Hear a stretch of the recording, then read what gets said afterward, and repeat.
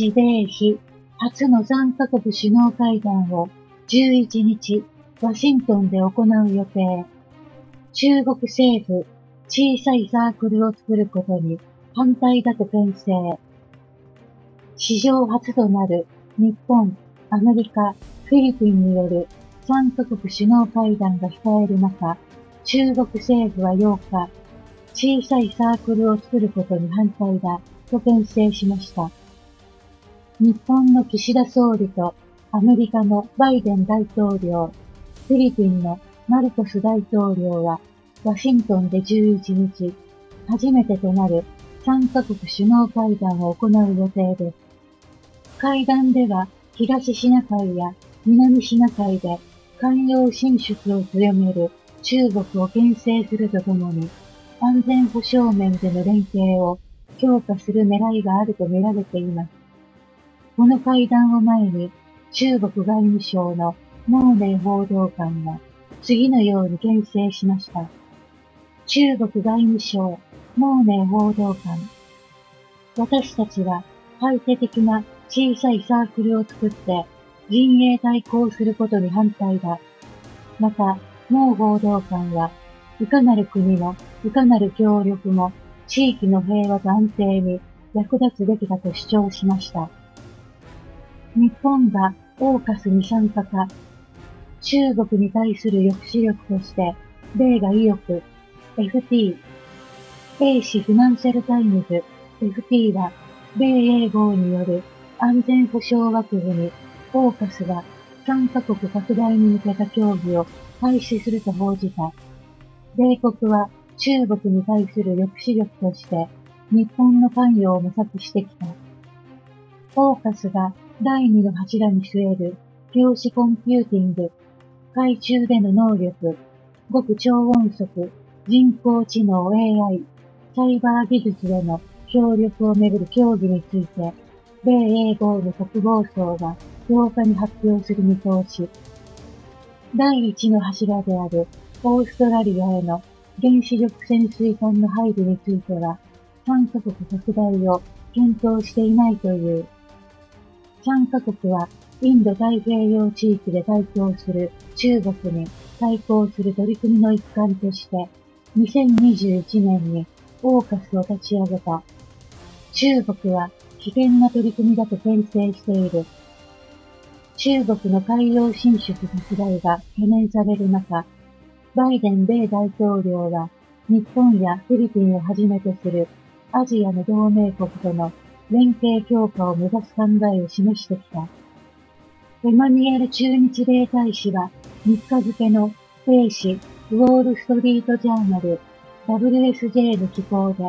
日本が第2の柱で米英豪以外の最初のパートナーになるとの見通しも示した。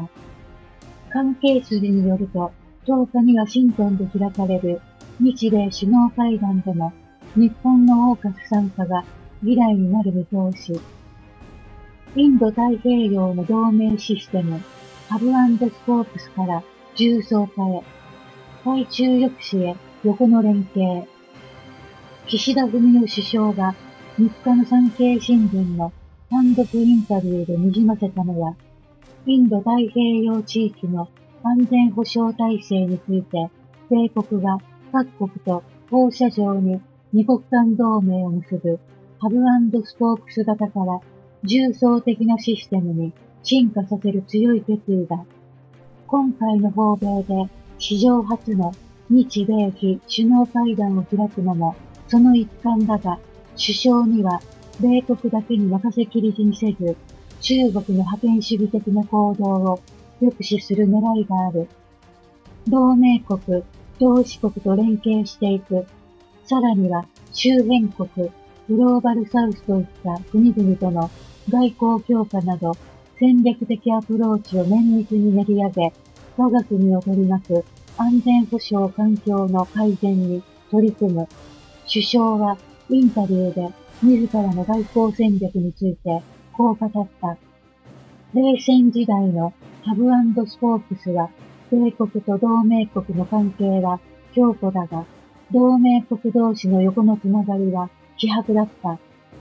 首相の念頭にあるのは、米国の同盟国である韓国やフィリピン、豪州との関係強化だ。今回の訪米では、日米比3カ国の首脳会談で、重要鉱物のサプライチェーン、供給網強化に合意し、経済安全保障分野での連携も確認する方針だ。首相は経済を含む幅広い分野で日米比の連携を一層強化することで地域の平和や安定を確保すると強調する。訪米時には米英豪の安全保障枠組み、オーカスとの技術協力も確認する。さらに米国の同盟国同士の連携だけでなく、日米豪にインドを加えた4カ国の枠組み、クワッドの連携強化も進める。首相が日米同盟に加え、同盟国、友好国と重層的なネットワーク構築を目指すのは、米国のインド太平洋地域でのプレゼンスを補完するためだ。中国の台頭で米国の国力は相対的に低下し、トランプ前大統領に代表される内向き志向も際立つ。米国の同盟国同士の連携がなければ、海洋進出を進め、台湾の武力統一の躍進を隠さない中国の振る舞いは、一層激しくなりかねない。同盟システムの重層化については、米側もハブスポークスと呼ばれたものから、格子状の戦略的な形に変化してきている。エマニュエル駐日米大使と期待を寄せる。首相は、欧米を、日米が、いかなる未来を次世代に残そうとしているのか、そのためにどんな努力をすべきなのか、発信する機会にしたい、と語る。首相の描く外交戦略が、今後のインド太平洋地域の秩序を左右する。米財務長官、中国過剰生産力制しなければ、中国首相、敵ではなくパートナーなるべき。米中が対話と対決を同時に進めるツートラックを本格化している。イエレン米財務長官は7日、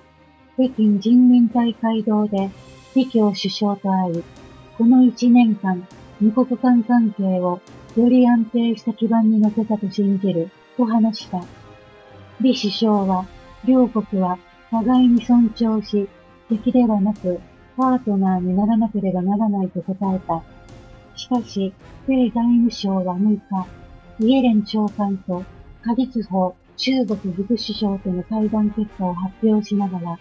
中国経済の特定部分で過剰生産が増加する兆候を指摘し、懸念事項の解決に向けた措置を促した。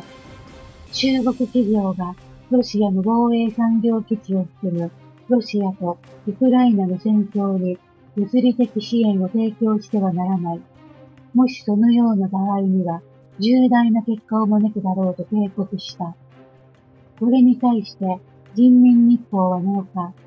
各副首相が米国の中国に対する制裁に厳重な懸念を示し、生産能力問題に十分に対応したと伝えた。2日に米中首脳による電話会談直後に訪中した